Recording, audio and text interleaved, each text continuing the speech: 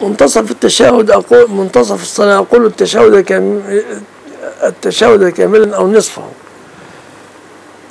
إلى قوله أشهد أن محمدا عبده ورسوله. هذا الأصوب وعليه كثيرون من أهل العلم.